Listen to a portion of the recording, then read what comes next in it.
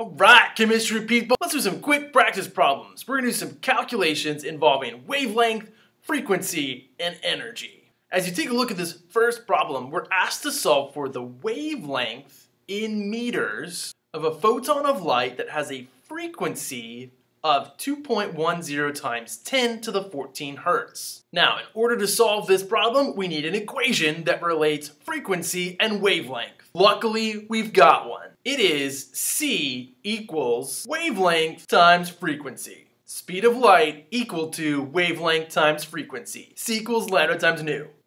the speed of light is a constant 3.00 times 10 to the 8 meters per second. We are looking for our wavelength, that's our unknown variable. We know the frequency is 2.10 times 10 to the 14 hertz. Algebra time! Let's divide each side by 2.10 times 10 to the 14. Alright, let's take a quick trip to the calculator. Parentheses, 3.00, second e to 8, close parentheses, divide by parentheses, 2.10, second e to the 14, close parentheses, enter. As I look to get my answer here, I want to make sure I remember the rules for significant figures. We've got 3 sig figs in my speed of light constant, I've got 3 sig figs in my frequency. So my final answer here should be rounded to 3 sig figs. 1.43 times 10 to the negative 6 meters. Boom! Wavelength of light.